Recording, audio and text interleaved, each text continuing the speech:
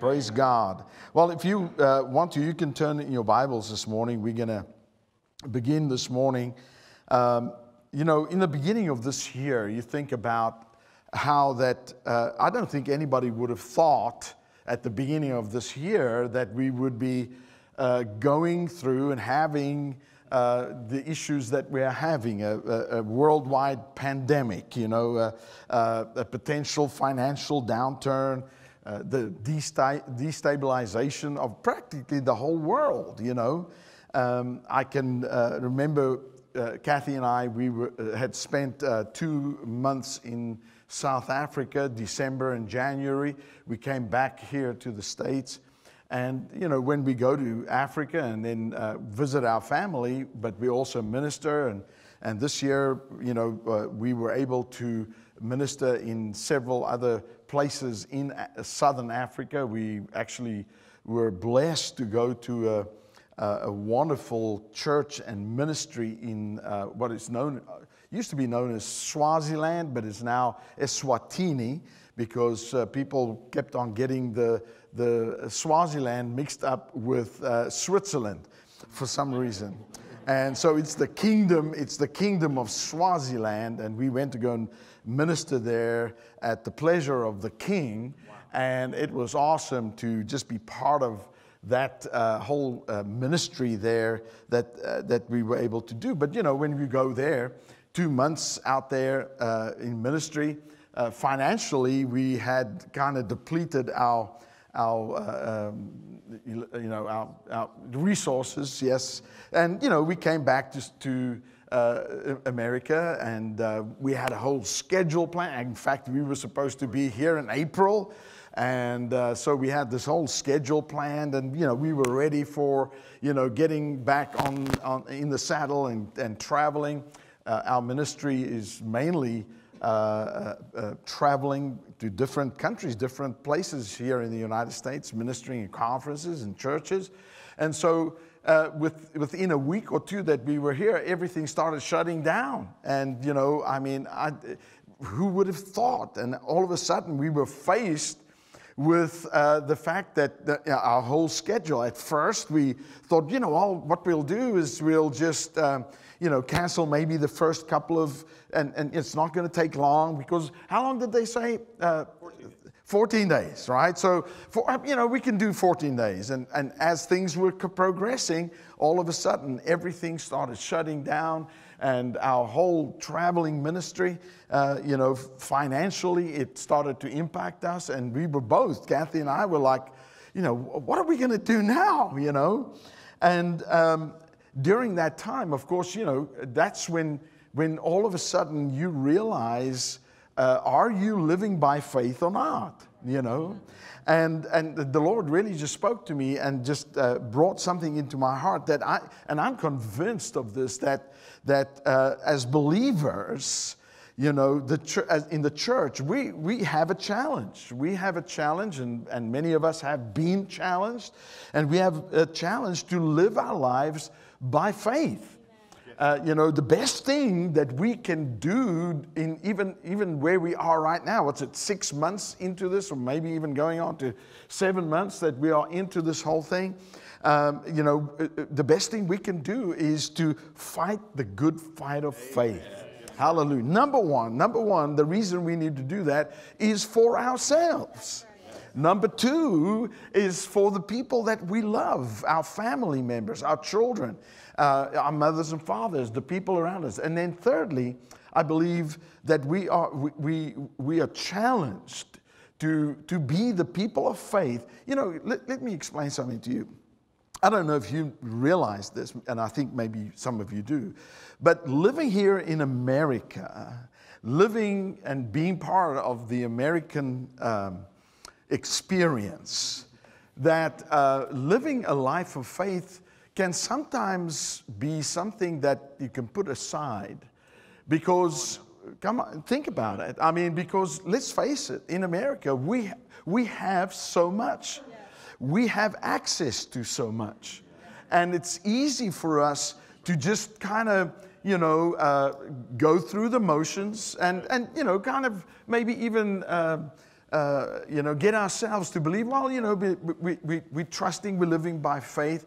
But really, if you look at it, I mean, what's available to us? You know, when you do go to other countries, when you do go to the third world countries, and you realize what true poverty is. Yes, sir. You know, I, it, I mean, here in America, I mean, sure, there are some poor people, but it's not really poor. You understand? I mean, and so uh, the, the, resources that are available to us in America, uh, you know, it's easy for us to kind of idle our faith. And, and when something like this happens, all of a sudden now we are challenged with, uh, uh with living a life of faith. There are other people. Guys, we, we live in, in, in another economy. Uh, we live in a whole a different environment as believers. Yes, we are in this world, but we are not of this world.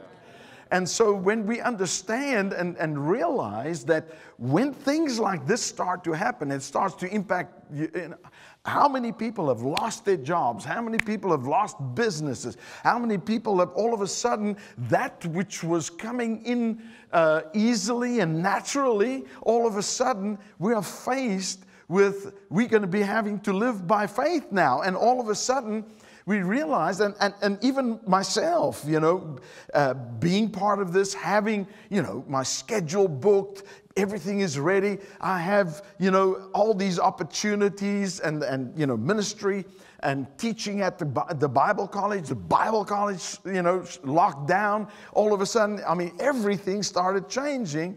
And all of a sudden, I found myself going, oh dear, what am I going to do? You know? And, and, and it's like somebody said, oh man, we, we're back to trusting God again. Amen. But you know, the thing is, that's the truth about that there are people, there are people that, that are watching us, people in the world. And, and you know what? For the most part, many of us as believers, we are no different to them. We are in, in a panic as they are in a panic. And, and the Lord just spoke to my heart that day and say, you know, the best thing you can do right now is to, is to start living and, be, and, and keep on living by faith. And boy, I tell you what, it was a wake up call for me. And so uh, uh, let's go there to 1 Timothy chapter 6 and verse 11. And the Lord really, when I, uh, uh Kathy and I started traveling now, it's, uh, it's about the fourth week now that we've uh, it's a, it's a month? Beginning of August? Yes. So we started traveling again, started ministering again, started having meetings again. And uh, I said to the Lord, I said, Lord, you know, what do I, what do I minister? And the Lord really uh, brought up something uh, in me, something that the Lord shared with me many, time, many years ago. In, in fact, I've preached on this so many times before. I might have even preached this year, I don't know. But uh, in First Timothy chapter 6, and verse uh, 11 through verse 14. Here's where Paul is speaking to a young minister, Timothy. And he is encouraging Timothy. And he's, he's, he's telling Timothy that, you know, about uh, of course, that's where we get that uh, famous scripture that people always get wrong, you know, that the money is the root of all evil. No, the love of money is the root of all evil. And then, you know, he's giving him advice about things. And then he uh, says in verse 11, he says, But thou, O man of God, flee these things and follow after righteousness, godliness, faith, love, patience, meekness. Fight the good fight of faith Lay a hold on eternal life, whereunto thou art also called, and hast professed a good profession before many witnesses. I give you charge in the sight of God, who quickeneth all things, and before Christ Jesus, who before Pontius Pilate witnessed a good confession, that you keep this commandment, everybody say commandment, without spot, unrebukable, until the appearing of our Lord Jesus Christ. Now, you know, there's a lot that, that Paul is saying here, and, and, and, and I know that I don't have a lot of time to expand on this, but when you look at what he's saying, he's speaking to this young man and he's telling him about all of these things that he needs to be aware of and things that he needs to avoid in his life as a minister and as a, as a believer. And then he says, I want you to, to fight the good fight of faith. And then he says, lay a hold of eternal life.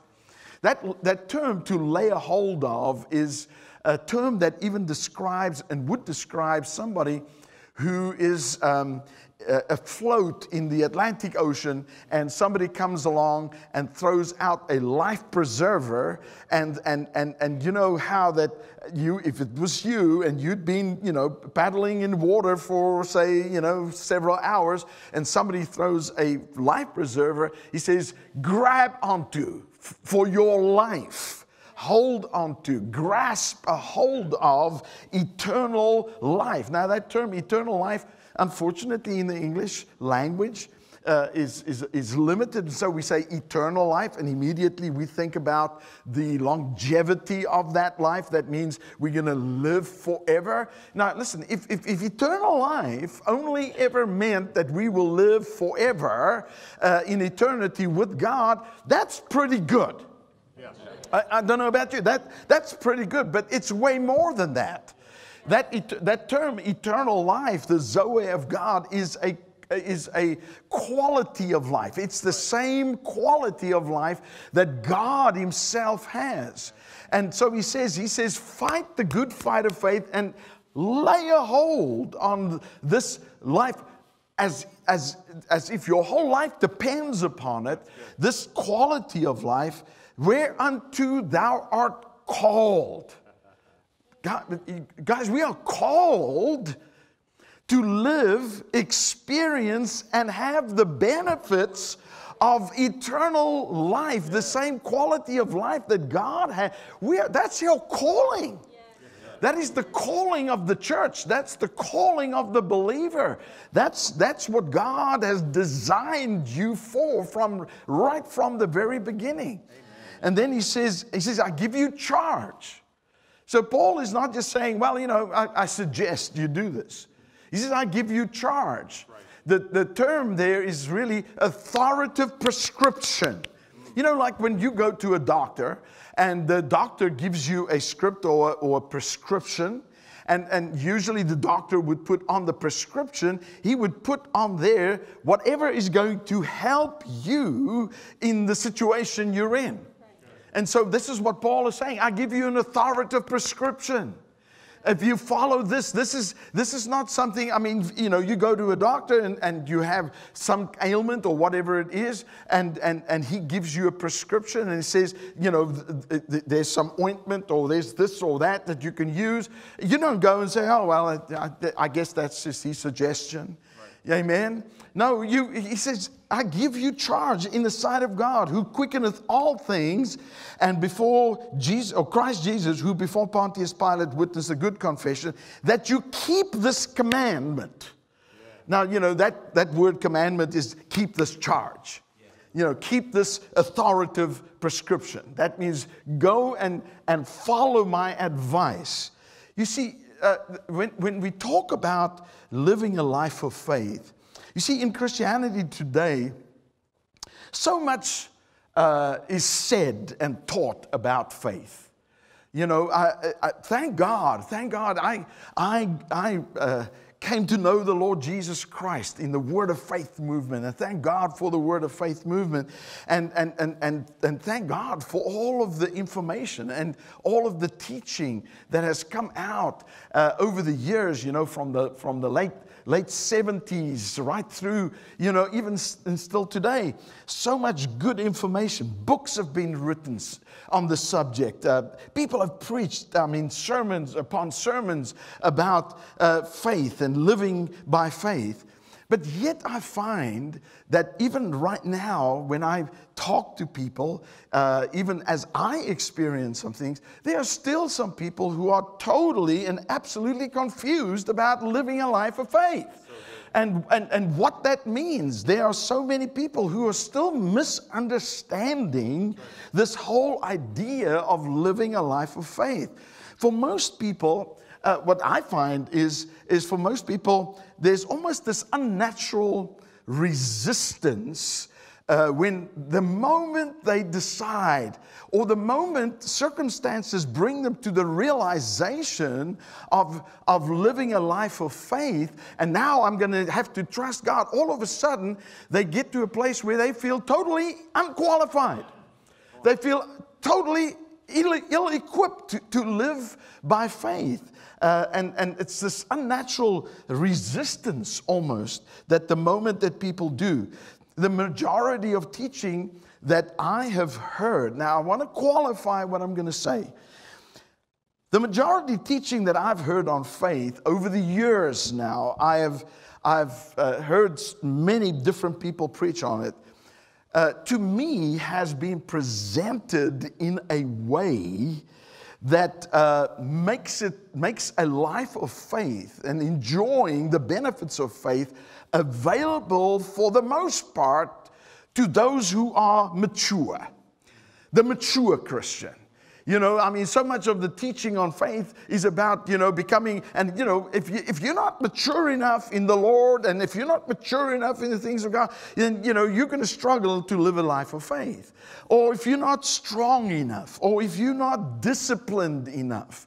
It's all about, and, and, and now, it might not be that anybody taught it that way. It might just be that that's the way I perceive. Have you ever noticed that you don't always uh, hear what somebody is saying? Uh, you, you tend to hear what you think they're saying.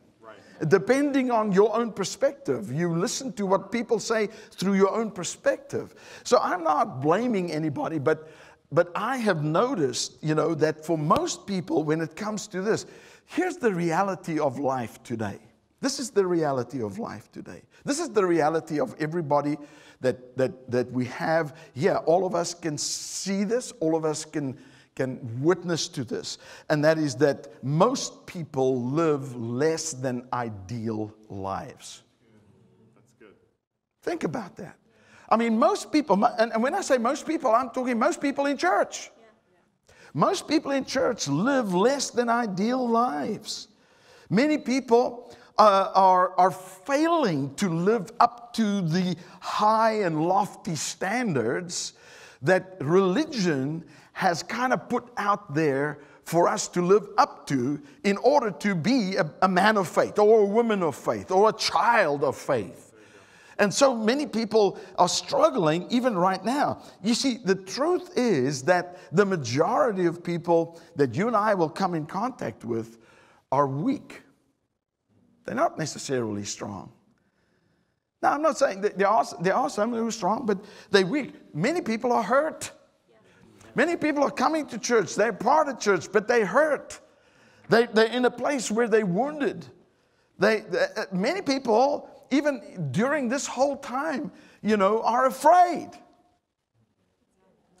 I know that the Bible says, well, you know, if you're going to be a real strong man of faith, I mean, you know, you, you're going to have no fear. But boy, I tell you what, when you live in this world and you, you get bombarded with all of the stuff that's going on, uh, the, let me tell you, the world and, and the old enemy will do anything to distract you from living a life of faith. And so many people right now are struggling with this. They living, uh, uh, many believers have really given up. And really, that's, that, that's what I want to address here this morning. And, I, and, it's like I'm speaking as fast as I can to get through this. But you know what? We, we'll just do whatever the Holy Spirit has us do here this morning. But I want to encourage you this morning. I want to encourage you that no matter where you find yourself, if you find yourself in a place of, of, of being intimidated, let's just call it, we won't call it fear, we just call it intimidation. Amen. Where you're intimidated today. You're intimidated by what's going on, by what's going on in the world, what's going on in politics, what, what, what's going on right now with the elections, or with, you know, uh, I mean, the, the, uh, I'm sure there's a lot of people right now with the whole, the president having COVID. Uh, COVID I call it covert. Yeah, it's covert 19. It's, it's got more than 19 covert things. It's this one thing, but it has this all these other things that are popping up, and people are, are, are being intimidated by that. Uh, and you might be in a place and say, I, I, I just don't know if I can live by faith. Do I qualify to live by faith? Uh, can I really expect that if I step out in faith, if I step out in trusting God, can I truly believe that God can come through for me? So turn with me in your Bibles here and let's go and, and just look at, at Jesus. You know, Pastor, Pastor just mentioned that passage of scripture in John 14 and verse 9.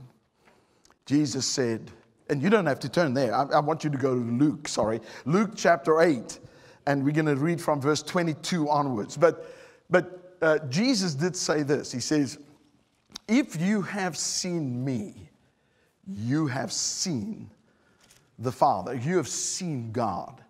Now, of course, Jesus is the exact representation of who God really is. Amen? You got that? And I'm, you know, it's so good to preach in a church that, I mean, it gets it. You know what I'm saying? He is, now, I believe it's also if you see how Jesus interacts with his disciples, interacts with people, with sinners, then you see how God will interact with sinners and with people and with his disciples. So let's have a look at Jesus. Now, you know, this is a passage of scripture. I've I've taught this in many different forms and different ways, but I would like to use it from this perspective today. Verse 22, it says, Now it came to pass on the certain day that he, talking about Jesus, went into a ship with his disciples, and he said unto them, Let us go over to the other side of the lake. And they launched forth. Now, notice what it says here. It says, Jesus came and said to his disciples, Let's go over to the other side of the lake. He says, and then he goes and makes it very, it says, and they launched forth. What that tells me is here's his disciples. Jesus gives them instruction. He gets into a boat uh, and he says to them, Now, let's go over to the other side they immediately step out in faith. They immediately step out in faith and saying, Jesus, if you said it, we're doing it.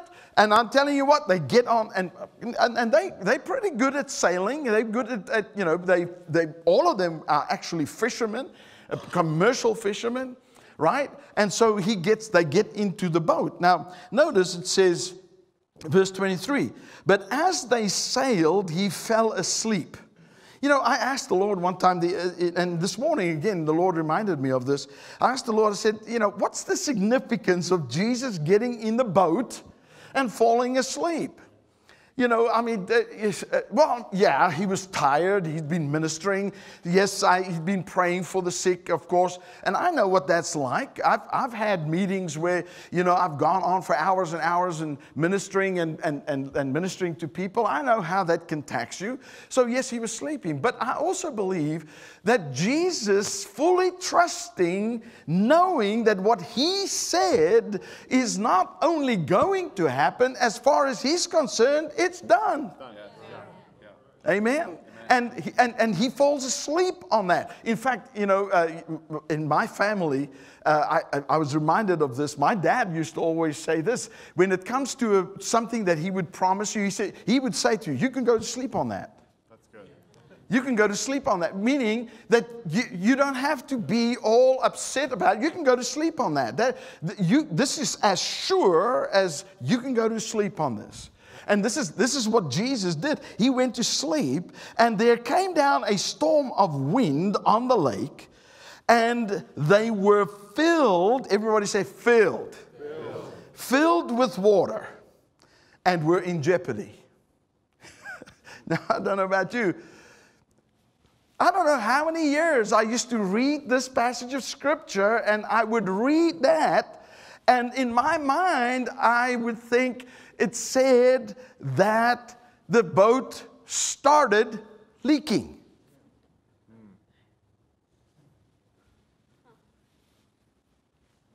But notice it says, and they were filled with water. It does not say the boat started leaking when the when this is after it started leaking. The boat was filled with water. Now I want you to think with me for a moment. How long ago was this? I mean, two, at least 2,000 years, right? Can you imagine a boat built over 2,000 years ago? The technology they had then? If those boats were filled with water, it was only going one direction, and that's not to the other side. It was only going, the only direction that boat was going is down. But notice something, which they didn't even notice. Even, the boat, even though the boat was filled with water, it wasn't sinking. Right. Oh, hallelujah. I mean, can you, can you understand? I mean, imagine, I don't know how big the boat was, but let's, let's say the draft of that boat was four feet or three foot. That means it was three foot deep. If it was filled with water, they're walking waist deep in water in the boat. And the Bible says you they were full. And I can see some of you guys, oh, well, maybe, well, let's just stay with me here. And, and, they were filled with water, they were in jeopardy, and they came to him and woke him. So, in order to come to him, the Bible, another passage we're going to read in a moment, says he was in the back part of the ship. So, he, they must have waded through the water while the boat is not sinking. And they woke Jesus and they said to Jesus, Master, Master, we perish. I don't blame them. Listen, I, I, but I tell you what, sometimes we find ourselves in a predicament in life or a situation in life and we think we're perishing and we're still afloat. Oh, come on. We're still afloat, we, but we don't notice it, we don't realize it. The circumstances are so overwhelming. Okay, let me go. And of course, it says there that, and he came uh, uh, and they woke him, Master, we perish. He arose and rebuked the wind and the raging of the water, and, and they ceased, and there was a calm. Now, listen to what Jesus says to them. Verse 25. And he said to them, Where is your faith? You see, uh, the other day, uh, I uh, left my wallet somewhere, and, and, and, and Kathy came to me, and I was looking, and she said to me, Where is your wallet? Now, you know, you never ask somebody, Where is your faith or where is your wallet if you have your wallet? Right, that's good. Are you with me? Jesus looked at them and said to them, Where is your faith? Meaning, he did not see any faith. That's right. Now, you know, of course, the thing is that people will say, well, the Bible says without faith it is impossible to please God. You're right. You're 100% right. It is impossible for God to be pleased. God is pleased when you and I function in faith. But I want to tell you, it doesn't mean He won't be there for you when you don't. Come on. Come on. Oh, come on. You see, I'm telling you, sometimes we've got, and we got to that place where we've preached the message of faith and saying, well, you know what? If you just had a little bit of faith, God could have helped you. But now that you don't have faith, then God can't help you. Unfortunately, He wants to, He desires to, He's for you, but because you don't have any faith, you show no faith, God can't do anything. Well, let's have a look at what Jesus did. If you go to Mark chapter 4 and verse uh, 37, it says, And there were also with him other little ships. So now, this, this account tells us very clearly that, that, that it wasn't just Jesus with his disciples in the one boat, there were other little ships with them, and they uh, and there arose a great storm of wind, and the waves. Now listen to this: the waves beat into the ship so that it was now full. Right. See, the boat was full of water, right. but they're not sinking.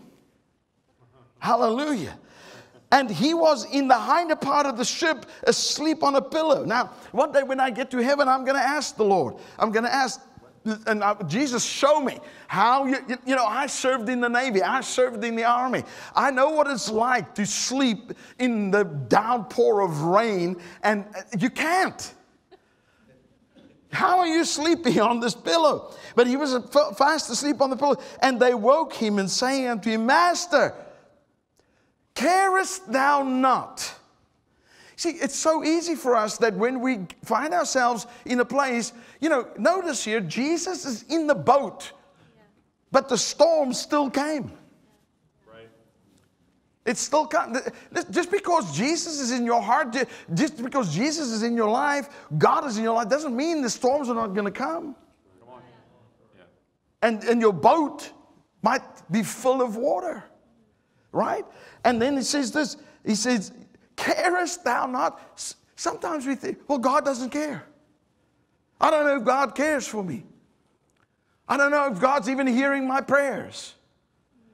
It sometimes even feels like during that time that when you do pray, like God is asleep.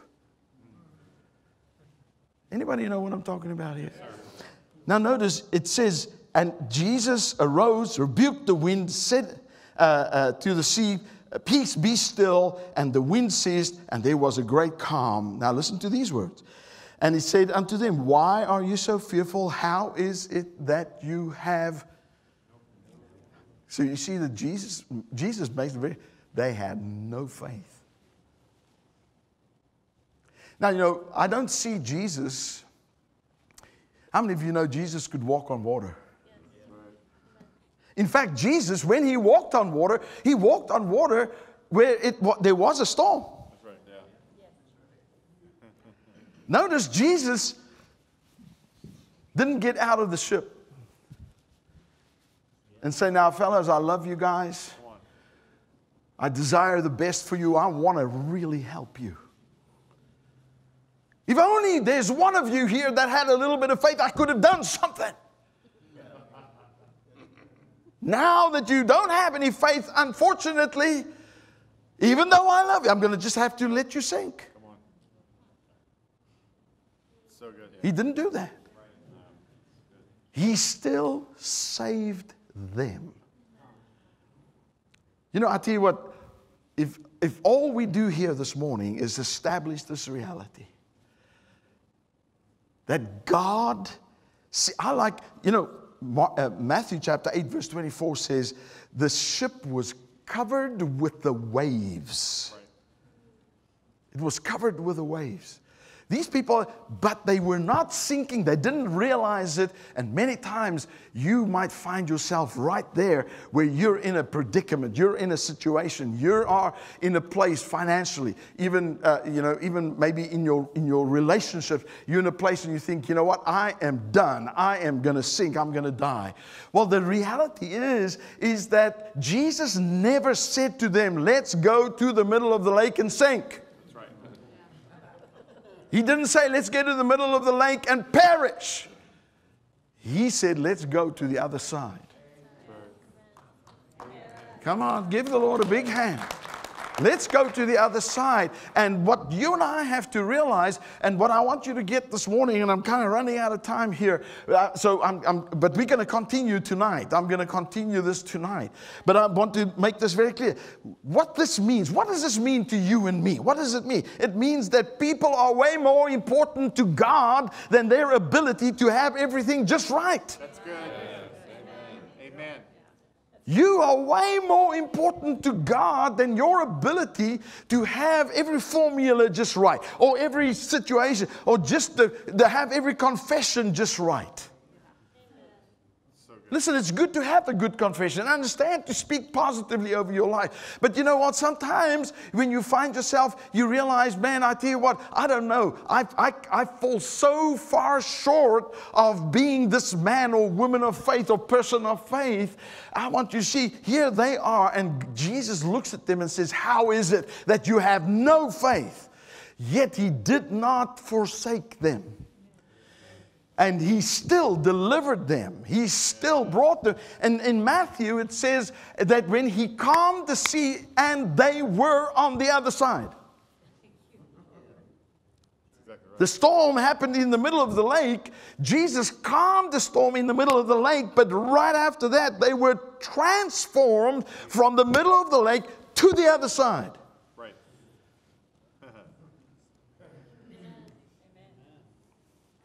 Years ago, the Lord said to me, Arthur, I said they'll go to the other side. I didn't say that they'll get there in a cruise ship.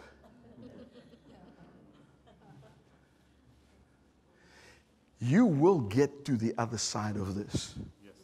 Whatever your situation, whatever your predicament, whatever you're facing right now, whatever it is that is covering your, your ship right now, you will get to the other side of this. Now, you might be wet when you get there. You might be wet and cold when you get there. But you are going to get there.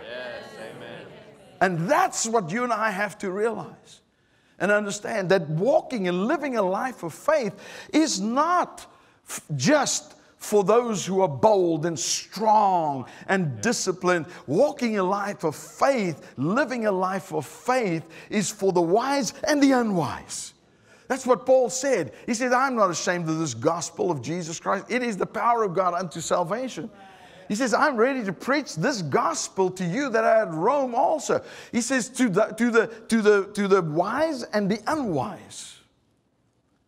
You know, sometimes we can be unwise. But the gospel will work even for the unwise. Uh, the qualification here is this Will you believe him? Will you just believe him? Jesus is in my boat. He's in your boat this morning. Hallelujah. And therefore, fighting the good fight of faith is not it's not, it's not having this, this bold, uh, whatever substance of faith that you can use an, as an offensive weapon to come again. But faith, Jesus never said how much faith you needed. He always talked about how little it will take. He didn't say if you have a bucket load of faith, you'll say to the mountain. He said, if you have as little as a mustard seed. And boy, if you've ever seen a mustard seed, it is, it is littler than littler. I mean, you know, it's, it's tiny. He said, that's all it, it, that's all it takes. To say to the mountain, Be thou removed, be thou cast into the sea. Hallelujah. So, my encouragement to you this morning, as we, as we come to the close of this, I, had way more to share here, but I'm going to just bring it, bring this down right now because we got another service. But I want to just encourage you. Listen, Jesus is in your boat. And even in the midst of the storm, even though it's covering you or covering your situation right now, you will not sink. Hallelujah. And even in the times when you can come and say, oh, God, don't you care? When you when you, when you got doubt, that's what the disciples. The, that's the that's the, the belief system that that really uh, opposed their faith. Is that they they believed, yeah, well, God's God's with me, but does He really care?